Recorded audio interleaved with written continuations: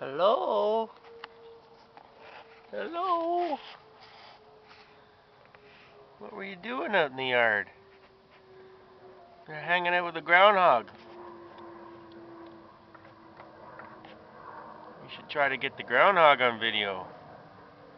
Nice to see you girls getting along. Yeah, I don't have any bread for you right now.